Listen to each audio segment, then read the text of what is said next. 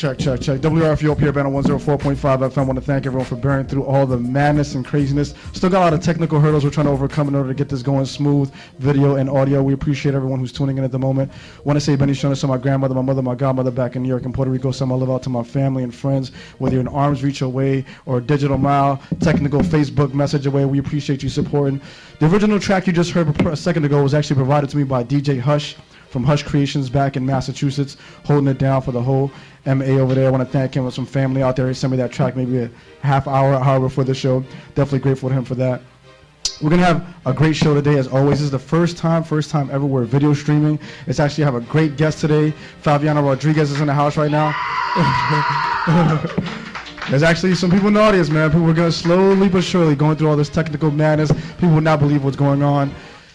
Thank you to Sonic Asylum, which just checked off for the evening, has, does their show from 8 p.m. to 10 p.m. I want to thank the early show, which does their show from 6 p.m. to 8 p.m. Also going on tomorrow, an event that's being coordinated by various student organizations at Latzer Hall from 7 from 12:30 rather p.m. to 2:30 p.m. will be taking place at the YMCA, the University YMCA. Can come on and catch Favianna. That'll be the uh, PG-13 version of what we do to here.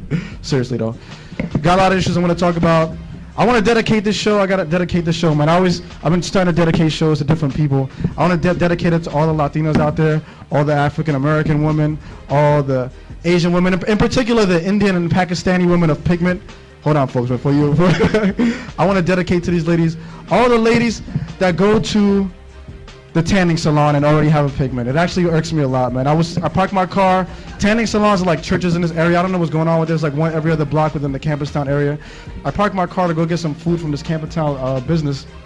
And I parked my car. It's like classic tan or tannerific or whatever the hell it's called. One of these million ones we have here. And I see, of course, there's a white girl that works at the counter, of course. And then there's this other white girl waiting for a tan. And then there's other Indian, you know, Pakistani or some girl from Asia, whatever. She's that this girl was tan skinned. She was already, she was darker than me and a couple of people in this room. And I'm like, she's just sitting there like trying to look straight forward. Like, and I'm know what everyone's thinking in their mind. Like, what's wrong with this girl? Why is she coming to get a tan? And I'm standing there parking my car looking at her, ogling as well. Like, what's going on here?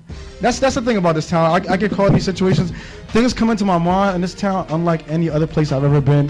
For example, this I don't know if this has ever happened to you. You park your car in, in campus town, or I'm at the light, and I see these two people in, the, in a wheelchair. I'm like, oh my god, these two guys are such a holes. And that's the first thought that comes to my mind. And I was like, what? What are you saying? Then I, you have to understand. I guess there had just been a game that had just you know finished, and these two guys are going across the street, know, across the street, whatever. They both had Chief mascot shirts on. I'm like, oh my god, like these guys. And then I'm like, hold on a second. They see me ogling at them, looking like them such a negative fashion. I wonder if they think that I'm ogling at them because they're in wheelchairs. I'm like, oh, I hope they know that it's just because they're a holes because they had the chief shirt on, and not because they're in wheelchairs. Because then that make me well, that doesn't make me feel bad anyway. I'm just saying it's kind of it's not what I meant to do. So we're gonna talk about a lot of issues, folks. I'm gonna give you guys ever read those books when you were younger? Those adventure books where you could choose an ending choose an ending. I, I, I can either make a confession or I can give you like a top 10 list of things that I would not do at UIUC. I, uh, I can make a confession for you here live on the spot or 10 things. Which would the confession? Damn, she said that kind of quick. okay, what should I say? What should I say? All right, a confession I can make. So this is what happened, right? I used to live in an area in the South Bronx by Stratford Avenue, by the 6th train, Soundview Morrison live a block and a half off of there, right? It's kind of crazy. As the, I lived on the fourth floor, one of my best friends lived on the ground level, and I felt so bad about this. Well, not for what I'm. he lived on the, he lived on the ground floor, and his family, they moved a lot. A lot of what we say weight is what we call that. You know what I'm saying? There wasn't that they were like you know overweight, moving back and forth. They moved a lot of stuff, man, copious amounts. But regardless, that's my best friend. I would go to his house all the time. We you know spend time together and whatnot, and because of what they were doing, they were always outside.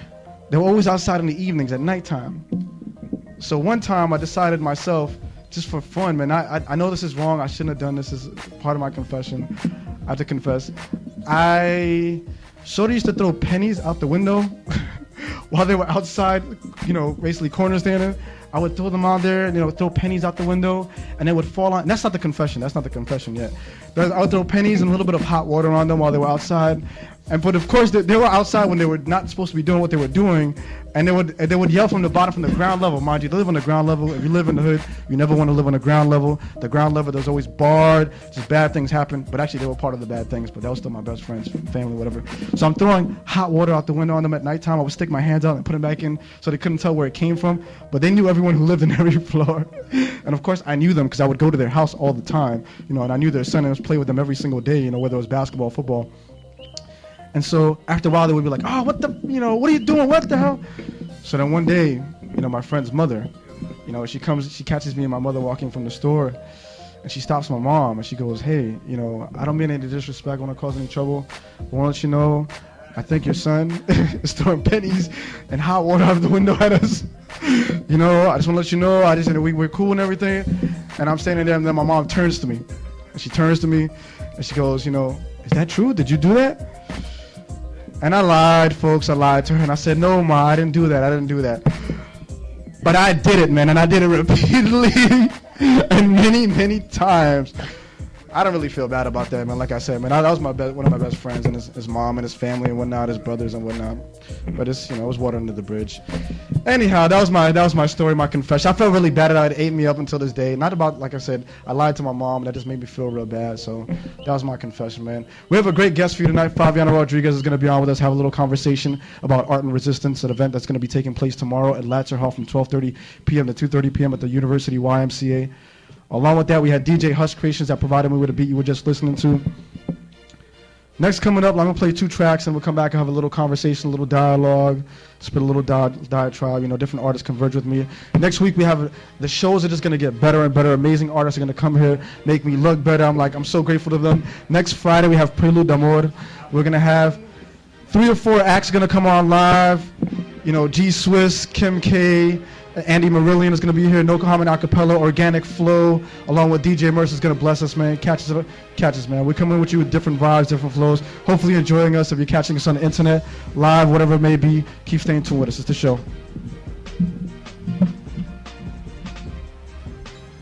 But what we can say along with that, there's a lot of different events taking place within the community. Hope you take take advantage of all this free art that we're trying to give out to you. It's currently line number line number two. Line number two and number one are the ones for the microphones. Well, let's do a quick introduction. Let's do a quick clockwise introduction. Tell them who you are, where you're coming from. Quick mic check. Hi, everybody. I'm Favianna Rodriguez. I'm from Oakland, California. Artist, um, activist, agitator, writer, Oh and uh, woman of color. I'm very proud to be a woman of color. First generation. My parents immigrated here. So From where? Uh, from Peru. Uh, and I'm very, you know, I'm, I'm really honored to have. I just turned 30, so Oh I'm my really gosh. Milestone, milestone. I, actually, I, act- I turned 30 actually like in September, but Uh, I know how Latinos are. They celebrate it all year. But I'm excited, and I'm really excited to be here because you know I, I met um, Joe and, and Laura, and I met a lot of people, even when I was doing activism in high school. And it's amazing how people through their careers they kind of stay in touch. And our movement, I mean, there's no borders in reality. I, I people that I met long ago are now organizing in. Um, in Mexico or in Europe or all over the United States. And so, in a way, our network grows. And so, I'm really happy to be here because I get to see a lot of people that I haven't seen in years. So, it's kind of surprising. Do you, you have a lot of, I think, listeners or, viewers going on right now from Germany? I think is that. well, I hope so. I hope my friend uh, Martin is tuning in from Germany. My friend Reed in Oakland. Uh, my friend Patricia in Oakland too. You know, again, technology enables us to be very connected. You Yeah. know, and so, um, thank you. Yeah, and big ups to uh, my cousin Magnetic as well. MySpace.com forward slash It's Magnetic. It's Magnetic. Another artist coming out there along with DJ Hush Creations.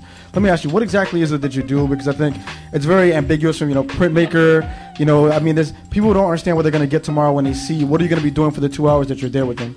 Well, I'll, I'll talk a little bit first about what I do because what I, I, I do many different things. Uh, I, I'm an artist first and foremost, and I do a lot of works on paper. And I work uh, as a printmaker because uh, it's through working on paper that I'm able to have multiples. And so, you know, when What does that mean, multiples? so like if a person does a painting, you just have usually one of that painting. I see, I see, I see. And, and so the history of printmaking is that it's always been a, a political tool to organize because you could have many copies of the same poster. I see. And so the artwork becomes something that's not as elitist. It's become something that's really accessible. And so uh, I'm a I'm a printmaker and I'm also a technologist. I, I learned uh, my my Chicano friends in college actually taught me how to code HTML right in early, in 90s when the internet When it was first coming out? Coming out, I remember buying more- HTML. yeah, and and uh, and so I'm, I'm really committed to technology, and so I, I like to explore things like video. Uh, I work in radio also, doing covering kind of stories in arts and culture. Uh, and recently, I published a book with Josh MacPhee called "Reproduce and Revolt," and that book is a collection of um, 600 graphics from 200 artists in 12 countries, and it's bilingual. And so that you Did you know, the people that you got the pictures from, or or- Actually, I, I didn't, but again, you know, and, and even my co-editor was in New York, and I was in the Bay. So we did Oh. a three-year-long project practically over email. I mean, we put out a call to artists, and artists would email in their graphics. And hmm. after three years, we had, you know, a little under a thousand graphics to do a book. Wow. So um, yeah, I, I really I, I love technology. I love art, and I'm always trying to find ways to meld those together. So you've mentioned some of the actual physical things you do. What about actually the what's the purpose of it? What's the message you try to you know get across to people?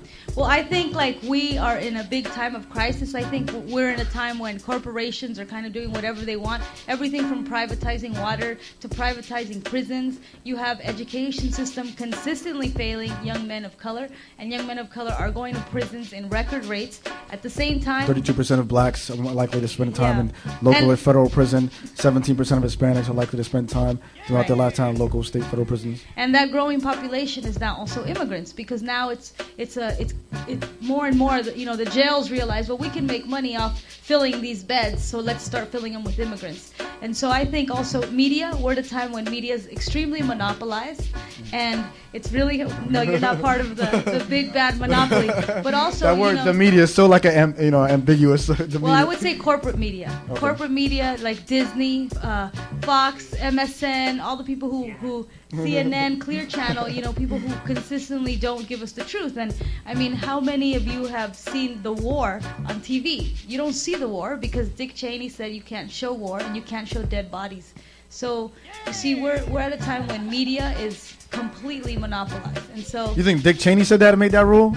no, or do you Dick think- Cheney they did the they they made the executive order to do that. to not allow media to show the actual war? Because I mean, sometimes you, I guess you don't see the bodies, but you do see footage of them on the ground and whatnot. So I don't, Rarely, rarely, and that's because in Vietnam, when they started showing it, people became they- aware of it every day. That's when the But do you think that's depressing? People they don't want to put that on. I mean, as, if it's not sens- if it's depressing and not sensational, it's not likely to make the news. You know what I'm saying? Like somebody gets shot and like they or it kills three people at one day. You know, but then, then it's sensational. They can you know fan. Well, there's also like really that. big money to be made in war. I mean, who is getting hired? Halliburton and all these companies that the Republicans were working for, and especially Bush and all his entourage. And so, of course, they're gonna uh, want to pass restrictive media laws because it's better for all of us to kind of be in this uh, bubble than for us to understand how much our tax dollars were actually funding the war. And now you see a whole image of, of economic collapse because for so long I think people were just not aware. So when you when you're gonna produce your artwork tomorrow, you're gonna get this all across to them tomorrow. Yeah. well, actually, that's that's one why picture. I It's gonna be one picture. That's why I make art is because uh, I this is the situation that we live in, and as an artist, that's the one way that um, that I could have a voice for many, for, for many different communities that, that I try to represent, right? And and I think through art or even what you're doing, like through media, through music. I don't know what I do, girl. I don't even know what I do. I just what do I do? Because somebody said what? I, not really. What I do? Well, you're, you're making media and you're making, you know, you're you're projecting your voice, and that can be done through music. I do it through art. I like that. it Projecting my voice. I like that.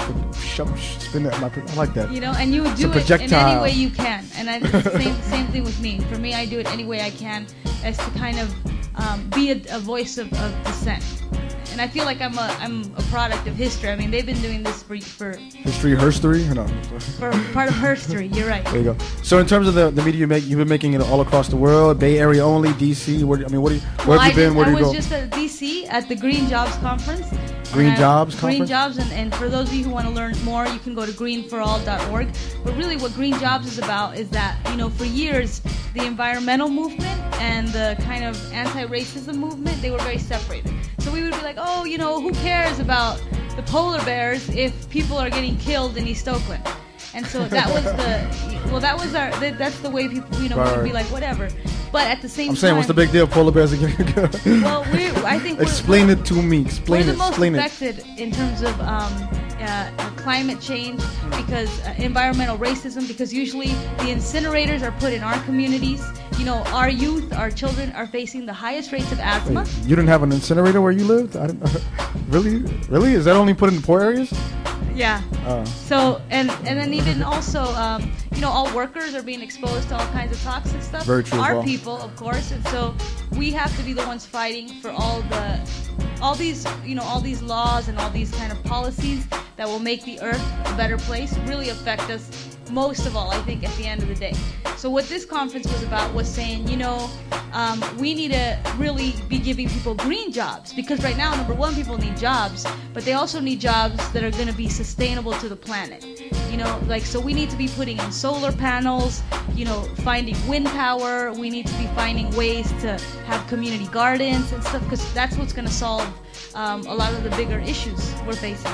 So you went out there for the conference, or you lived there? no, no, no, I went out to DC for the conference, and uh, I'm I, I, travel a lot. I was recently in, in December. I was in, in Rome, kicking it with what with the Pope? Were you with no, I didn't go see the Pope. Uh, what what about no the one way. that denied the Holocaust? The other bishop? Did you see his? oh man, yeah. So I went there actually to go collaborate with some other political artists, and you know, again, we're uh, activists are all over the world. Everywhere there, people are trying to change stuff. And when I was in Rome, and then I went to Germany, um, that's when they had shot this kid in Greece. I don't know if you guys remember that. They were yes, rioting for almost seven. The, the, police, the police shot him, right? Was yeah, the, the police shot him, and he was I think 14, 13 or 14. And there was a huge, you know, there was riots for days. I think it was at least longer than a week.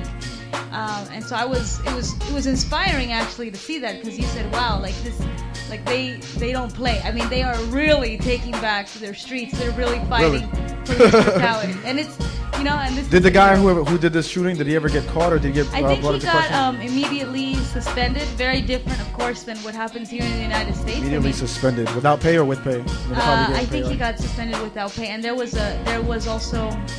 I have to actually. I would. I, I don't know the entire story, but people fought and they pressured the government to be able to, you know, find solutions fast.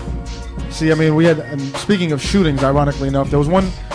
Obviously, the one in the Bay Area, but one I didn't want to mention, which probably won't make much news, is one Billy Joe Johnson Jr.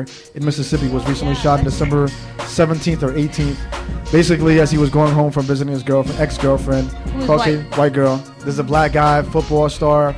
Um, in essence, was coming home from you know visiting his ex-girlfriend, who had I think supposedly what's being reported is that they had broken up, and you know I guess he was visiting her because sort of on the you know strenuous terms because the father sort of forbid it, I believe. Very birth of a nation esque, and so the um, the kid is coming home, and apparently the officer stop pulls him over for routine traffic stops, and suddenly the guy shoot the kid shoots himself with a shotgun, yeah. and commits suicide. But they're That's the end of the story. That's all we know. That's what we know. Billy Joe Johnson Jr. apparently superstar athlete who's going to be receiving an award on Monday, who had just had a conversation with his coach about what to wear when it was, decides to shoot himself, put the gun, the shotgun to his head. For those of you that don't know, a right-handed person with a shotgun is very difficult to pull the trigger. Apparently, is what they're reporting. So it's very, very difficult to do. And that's that's it. You know, they're hopefully going to pressure him to do an investigation and probe the Mississippi Police, Mississippi Bureau of Investigation. Yeah, and you could actually, if you want to put in uh, your complaint and really push for a thorough investigation, you can go to colorofchange.org and really, uh, you know, petition so that you see justice. Because again, this is Mississippi. I mean, this is the South. And they're racist know? in Mississippi. I don't care what nobody say, man. I don't, I'll put it on black. Hey, you from Mississippi? You didn't like what I said? Prove me wrong. That's all you can say. Prove me wrong. I've been in a lot of places. A lot of people say whatever they want. I haven't been to Mississippi. I'm going to say that, but but they're racist. but no, I know anything south of Chicago is the South, but Mississippi is a world unto itself. There's a lot of issues with the fish workers, I believe. The women's fish workers that try to unionize over there, and they had a lot of issues. You know, people with like modern day, you know, civil rights abuses go down there all the time, all the time. So I'm not. I feel very comfortable in stating that, not feeling I can I can prove that on with it with evidence. But Billy Joe Johnson is one situation. Hopefully that gets some media attention. But also Oscar Grant. Right. You're from the Bay Area. Were you around when that happened? Well, you know, the Fruitvale is two blocks. I live The in Fruit the Fruitvale. is- The Fruitvale BART station, which is where this happened, is two blocks from my house. And on New Year's Day, I remember my neighbor said, "Oh, did you hear they shot somebody?" And I said, "It just, you know, it, I didn't really think about it, but." A few days later, the video footage had come out. And so, um, of course, you know, we're, we're out- YouTube is a mother, man. yeah, no, but it also shows how everybody now can make their own media. You understand? Like it really changed the way the uh, the power. It, it really shifted power in terms of, of who was telling the, the, the right story or whose story was getting picked up. I think was really good. And so um, there was a lot of organizing. There still is a lot of organizing. Uh, the group that I'm a part of, the Taller Tupac Amaru, which is Do you have a uh, website? yep, tallertupacamaru.org. Spell that for That is, uh, I was like, what the hell? Did Taller, that's T- yeah, oh, damn, I'm never gonna find this group. That's uh, T A L L E R, Tupac, T U P A C, Amaru, A M A R U dot com. Again, named after.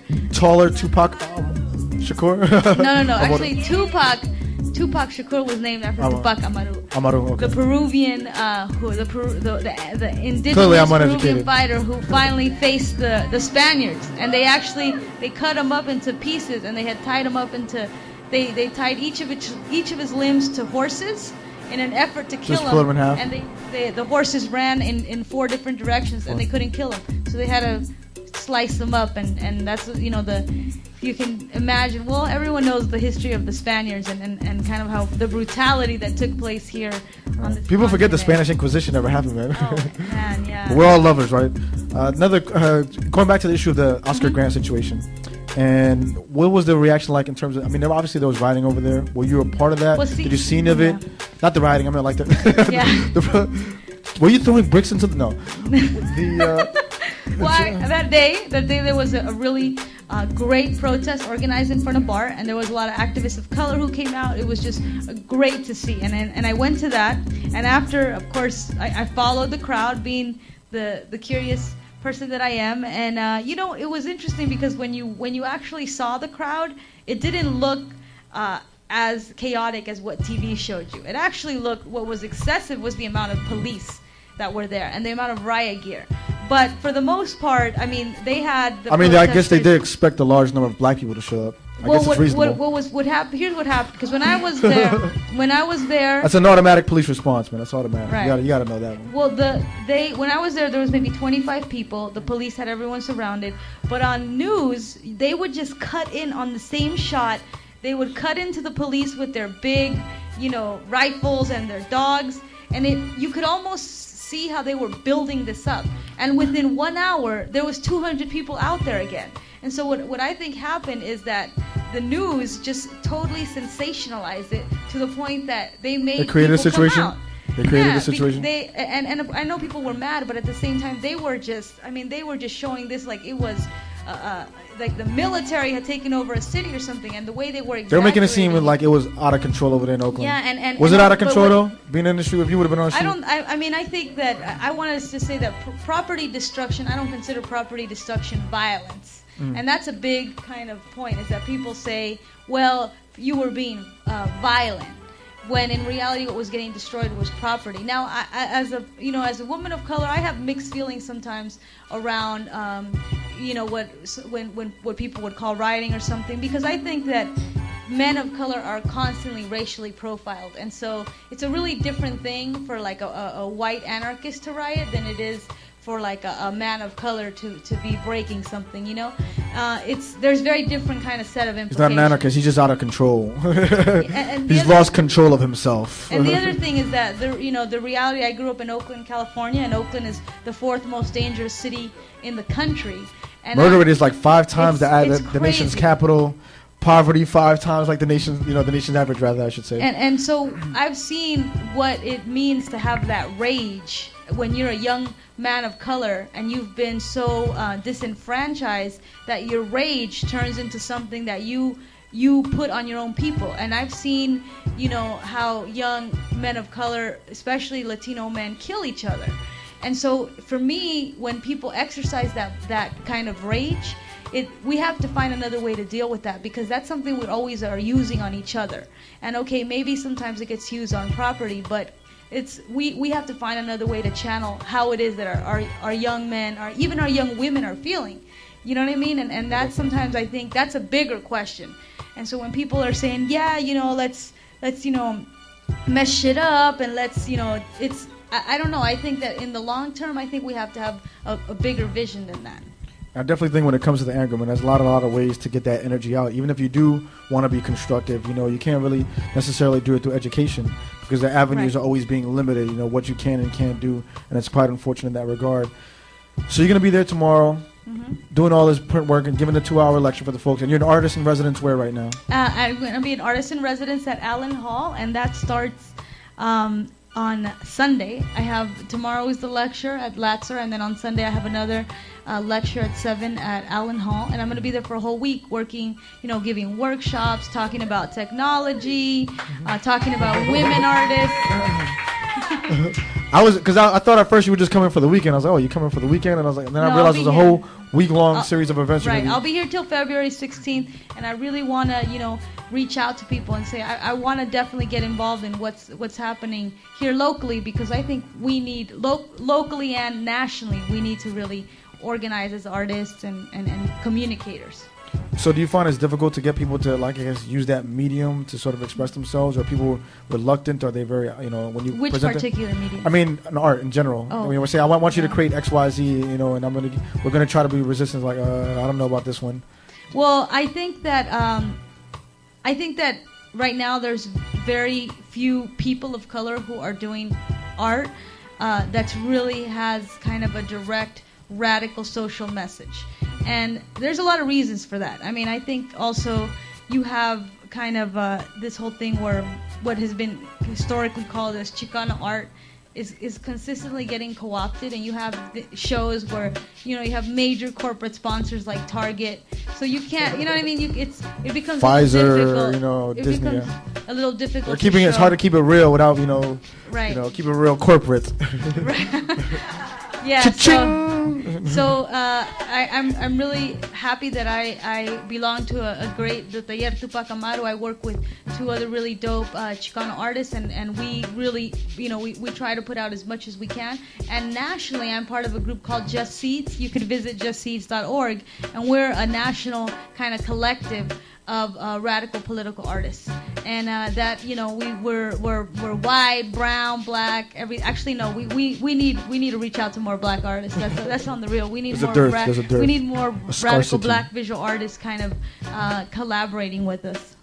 Folks out there, does anyone have a question out there? I know some probably some probing mods. They want to ask a question. Feel free to give them an opportunity. You want to present a question Or you can present a question on the chat. You on the chat. Folks out there online, it's hard. For, it's kind of hard for me to go over there to the screen. If someone has a question out there they want to ask Favi, see if anyone says. It's best if you type into it. I don't know if that thing is even actually active, man. It's kind of hard. But going on with you, you're going to be here tomorrow. Going to be doing the Right. print work. What is it? Where else have you visited over the past few months? Uh, let's see. So you went to Rome. Anywhere else in Yeah, I Europe? was in Rome. I was in Cologne in, in Germany. Um, be, before that, a few, I think like maybe seven months ago, I, I had visited Brussels, uh, London, and of course Mexico City. Mexico City, the kind of I consider it the capital of, of Latin America, and, and what's, what's happening in Mexico City is, is super dope. Uh, and then of course throughout the U.S., you know, New York. Um, Big up the Bronx. uh, LA, of Everywhere course. I, I, I, LA, I, I visit a lot, and I'm gonna be heading in March to uh, Vancouver, so I'm excited about Wait, that. Not for Caravana, right? No, that's in Montreal. Mo- Montreal. What are you doing in Ca- Vancouver? In, in Vancouver, I'm uh, gonna be collaborating with uh, uh, the Sisterhood Festival. the sister. Sisterhood Festival, and uh, you you can check them out. Actually, I have all these links on, on my website and on my Tell blog. them your website. Uh, my website is favianna.com, and that's spelled F as in Frank, A, V as in Victor, I, A, N, N, A. Dot com. I'm going to be also collaborating with a group called Fearless City Mobile, and let me tell you how dope these guys are.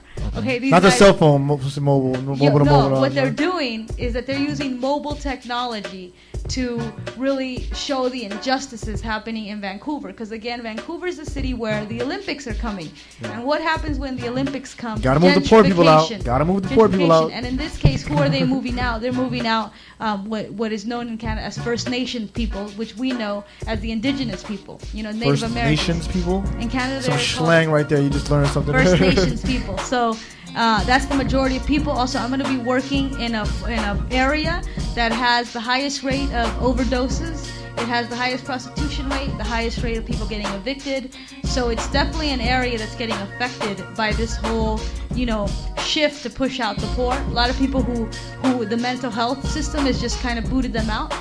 And uh, we're going to be doing a project where we're going to be collaborating with VJs and, and mobile phones and kind of all kinds of artists to do. Uh, we're going to be showcasing stuff, and it's going to be streaming in uh, Vancouver and in Montreal. And so Montreal artists are going to be submitting content too. At the same time, live. Right? Yeah. Damn, I love technology, man. I love Yeah, technology. awesome. Folks out there that don't know, planned shrinkage by the government is something that's very common Right. in terms of moving people's out. It happened in the Bronx during the 1970s in order to make way, or 1960s, I should say, 1970s, to make way for the Cross Bronx Expressway. Something that happens quite often, unfortunately. Um, and she was just reading the book. In the South Bronx of America cata- catalogs some of that. Big up to DJ Nelly's son. What's going on? you got a question in the background? Hey, what a question, you? Thank you.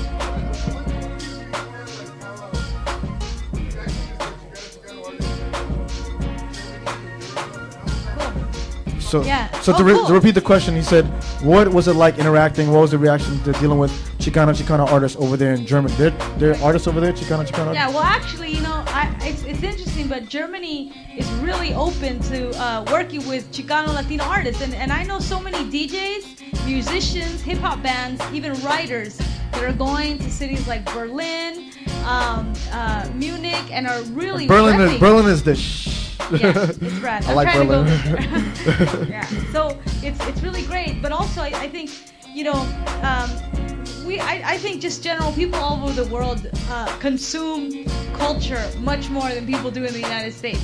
You know, I mean, there's more of an emphasis to understand who it is that you're in the world with. You know, and even when I've gone to Japan, people are so interested to hear what it is that we're doing as Latinos in the United States, as Chicanos, as people of color, as artists and they're very kind of committed to see that side of of, of the America, you know, the, the American face because what they're used to seeing is a face of somebody who's white, and they're not necessarily used to seeing us talk about our history, talk about how it is that we're trying to change the whole country. So uh, I, I always get excited about going to Europe because when I go to Europe, I hook up with all kinds of activists there who are also fighting, you know, their their in, in their respective countries, and really see an alliance with what we're doing. Because also now, I mean, I mean, we, I, I identify as a Chicana because I grew up, you know, in a Chicano community, and I politically that's how I identify. And um, I didn't see that box on the voter ballot though. I didn't see. Not yet, at least. and, and you know what's what's crazy is like now I mean now we're facing globalization. I mean this is no longer something that we can just contain in our community. This what's happening around the world, we're all interconnected. And you saw that with the financial meltdown. You know, you see that now you have corporations who even though are based here are, are have their factories everywhere in the world, which in turn causes world displacement because then you have a huge wave of immigrants who get displaced, have to come here. And I think that all activists all over the world and artists are, are starting to understand that. So we're always around making international ties, even with what's happening in, in Palestine, you know? so we I feel like our fight has to be an international fight because the US is responsible for some of the most crooked policies in the world. And That's we definitely have to, true. you know, and we have to be we ha- I, I think that as people coming from the belly of the beast, we have to be very proactive around um, uh, expressing our solidarity with what they're doing and also being active around changing what's happening in this country. Think globally, act locally, right? One of the things, though, in terms of that, one of the things that really concerned me, I went to Germany and I saw some folks listening to hip hop, and that's one of the problem of us being so interconnected. That I feel sometimes people consume our art and respit it back at us like an imitation, you know, which is always a, you know flattery and whatnot. But I think this had lost something in its essence. They were just going through the motions, and like they were going through the same problems, but the, their connection to that art wasn't necessarily there, and that, that's something that actually really concerns me about hip hop. I go to other places and you see, you know, folks in Asia, whether they're Chinese, Japanese, Taiwanese, they got all the latest styles, doing the breakdancing, the graffiti, and I'm like, wow, these these guys, they know all the words, they don't even know what the hell they're saying.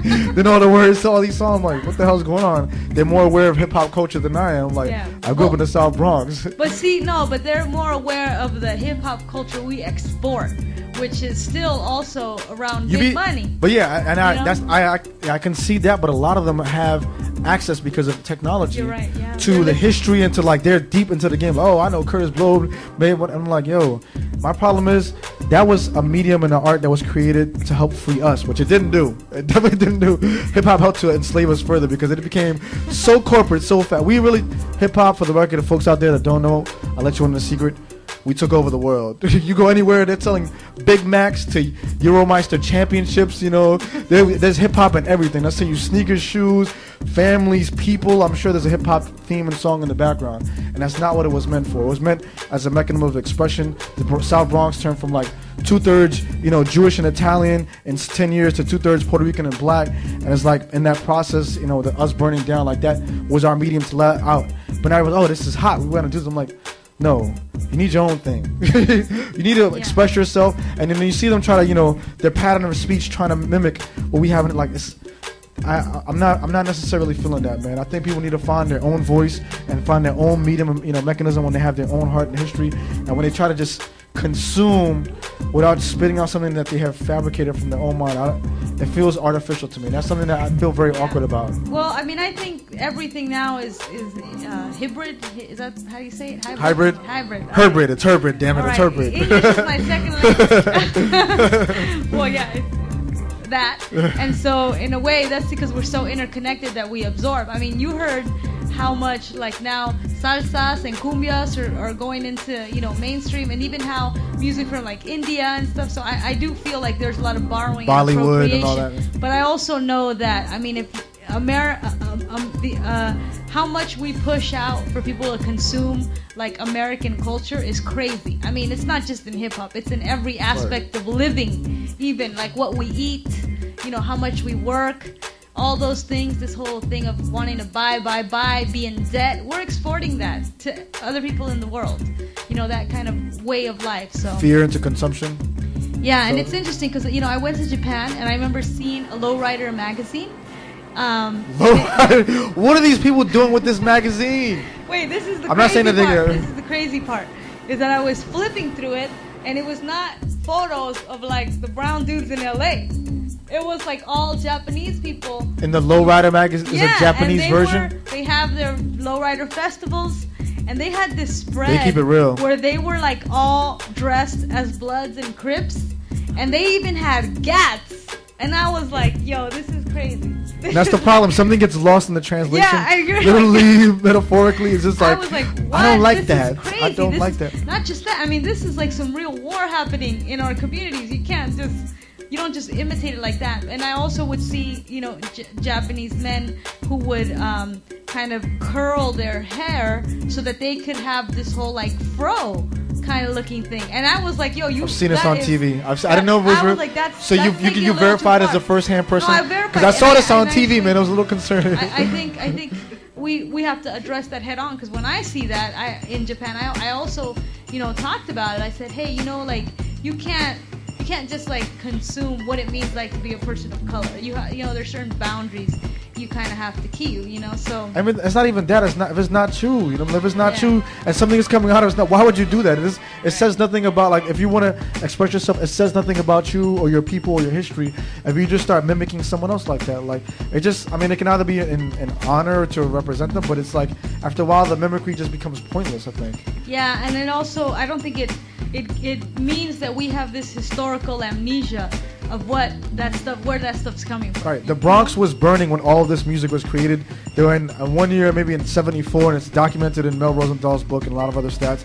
I think there were like 33 fires per night in the Bronx. Landlords were literally, through various mechanisms, paying people to burn buildings down. Right? They would pay kids anywhere from five to fifteen dollars sometimes in some instances just to burn down a building. Okay, and people you know they were reporting one time the World Series was being held in the Bronx, and they're saying, "Oh my God, the Bronx is burning!" Like people were commenting, "Why would the people of the Bronx burn down these buildings?" And it wasn't the case. It wasn't the people. It was the owners of the properties because they were federally support, supported and required to have insurance, and the government was giving them money. And from all that angst and social unrest and trouble, you know, and then drugs flooding in and all this stuff, people started utilizing this as a mechanism to voice their opinion, you know, social commentary in essence, to a beat, or talking trash at the party, etc. And so people try to, you know, do all this over again. It's like, I'm not. I don't see your buildings burning down. You know, fabricate that, reproduce that, and maybe I can feel the emotion behind it. Otherwise, it just seems strange. You know, like and maybe you, you kind of captured that with the Lowrider magazine. Like, Yeah. it is no way connected to their culture. Right, and I think that what has to happen is because I think that young people expressing themselves in any way is, is very powerful, especially when what's happening now. And so, in a way, uh, right right now, people all over the world are being like, "Yo, this is this is messed up." Like you can't disengage from politics anymore because it's affecting everyone. Even if you are just listening to the music. even if you are i mean even even like a, a young person now has to consider how much debt they're going to be into because of all these bailouts you got actually i don't know how old you are but my i would say high school students I, students who I'm, are I just turned. I just turned 18. okay well high, people who are in high school people who are in high school today are going to be the most Ah, indebted in high indebted generation they're going to carry the biggest loads Thus far, in yeah. terms of what it is that we're doing. And and better work hard. There's not going to be financial for a couple aid. generations. Fin- look, the what's happening with financial aid is Even so whack. school, yeah. It just it gets me mad that that there was money to fund this war, and now people can't even.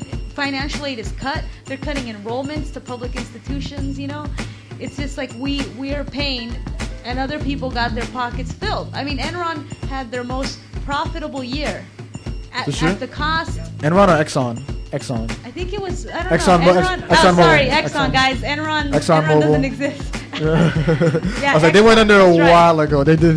Yeah. They had their taxing and accounting uh, yeah, problems. and so when you see when you when you see stuff like that, you're like, wow, like there's there's they're making big money off off um, the backs of all of us. Yeah, and good folks out there, another website you can visit is dandemand.com. Coming up, dandemand.com. We've got the special guest in the background. One thing I wanted to say about New York and the Bronx and music is like, like I said, these people reproducing this. It's just, I, I don't understand what's going through their mind. Like, can you when you when you encountered this, Yeah. what was your reaction to like seeing someone like? Have you, I'm sure when you were there, you saw some hip hop artists. Yeah. Were they potentially even English, trying to spit in English? Like, what was your, you know, your visceral reaction to seeing all this? Well, I mean, I, I have I have I have I have I have kind of mixed feelings about it because I on the one gonna I hand, knew she was gonna say that. I had mixed feelings. on the one hand, like I'll tell you, the Japanese salsa bands Uh-huh. are some of like the hottest salsa bands Oh, really? in, in, in the world. I mean, they they are so meticulous around. I'm sure they're technically music. on point. I'm sure they're technically Oh, on point. technically, yeah, technically, Technically sound. yeah. And, uh, and and and to me, it's like wow. That's not a down comment. Why are you laughing at that? But I was also the, fact. the fact the fact that people would study something so much to try to get it as accurate as possible. Yeah. That's almost Authentic. Authentic, authentic. authentic as possible. This, this, this, Is that what you're looking for? right.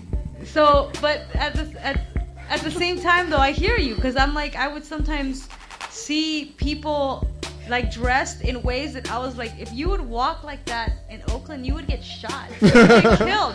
No, but you would because you're like all gangstered out. That's not. The murder rate in Oakland is five times the national average for folks out there, along with robbery. Don't for folks don't. It's not a joke out there. No parts of parts of parts of Oakland are very affluent, but yeah. Right. In So, the yeah. hills, maybe. yeah, the same thing happened to me. I went to a place. I was in Vienna. It was during there during the Euromeister kickoff, which is like World Cup is every four years. Euromeister is two years in between, so every four years as well. And I went there. The kickoff was in Vienna. I'm there opening weekend, and I go to this one spot. It's the hip hop club, and a couple of hip hop songs come on. They're using all sort of you know vulgar, derogatory language, and they're repeating it verbatim with the song. These people either speak Austrian or German. I'm like. I'm like, okay, okay. I'm like, okay, what's going on here? I'm looking at these people like, I didn't get it. I just, honestly, I'm not not to distract anybody. Well, I don't a really, but I just didn't get it. Why are you repeating the words and saying, trying to sing it with the same emotion that they see in the videos and repeating? I'm like, and that's what I'm saying. Hip hop took over the world, man. People Wait, can say whatever they you want. You don't have to go to Europe to see that. I mean, you can just go to like a little house party in the hood, and people are like repeating all like those crazy lyrics without But some of the, but it's it. different when the cops are circulating your block every day, every hour. I don't know. You live in some areas, the cops are like, there's there's these constant societal pressures to make people like they can only see themselves in the three minute video. They can't see themselves in the two hour long feature length film where they're successful and happy. They only see themselves in a three minute video trying to reproduce that. But a lot of that image is built by white men in power. I mean, the ones who are running, running the record companies and who are saying, hey, dude, wear those chains, show those gats, lean on the car like that, that's all being fabricated by men in power who are saying, we want you to have this image of the black man and and so I don't necessarily think it's authentic. I don't think that you know they're making those songs while they're like you know getting assaulted by the cops. I think a lot of them are making a lot of money, and there many of the lyrics are very you know degrading to women. But there's that's because there's a huge profit to be made. See, but I wouldn't say that they're fabricating. I say they're they were the you know the, the not they were the impetus and the helping to propagate it, but the, it was fabricated into our culture by other societal pressures. Like I said, in the Bronx, after this sort of social collapse with the burnings building down, you know, economic turmoil, they were playing shrinkage. Robert Moses, you folks can read about him in the Bronx. In essence, you know, they were limiting mental health facilities. They're limiting all these, you know, fire department services were being decreased, police services were being decreased. People's quality of life was constantly decreasing to the point where it was very, very easy with the economy crumbling to just have another, you know, underground economy of drugs, you know, coming in fest and when that came into reality and you know came onto the scene, and they saw how profitable it could be, how popular they could make yeah. it because of this medium of hip hop, they helped reproduce it, you know, and propagate it by offering money. That's why we have Soulja Boy. That's why we have songs that all these people can, you know, certain songs by 50 Cent and whatnot. These people want to hear and over and over again because they saw that image and they saw how quickly it would be consumed.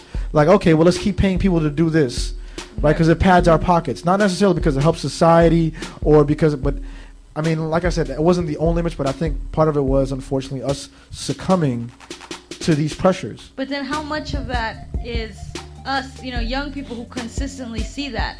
How much of that is real, and how much of it is just mimicking what um, mainstream TV is telling you to act like. But I'm, what I'm saying is that's the came onto the scene in the Bronx without TV even being around. Right. Well, I mean, hip hop was born. I I, I think hip hop what it was. People were dressing with gold chains. They were doing some stuff that was not appropriate because everything was going to hell. You walked around a building, right. look at pictures of the South Bronx. There were nothing but brick yards. Buildings were literally burning every single day of the year. That was okay? 40 years ago, though. No, during the 70s and even into the 80s as well. Yeah. They would have festivals in the Bronx the Newport companies and the beer companies would have festivals where they would just give out free cigarettes, boxes upon boxes of cigarettes, to without even checking ID.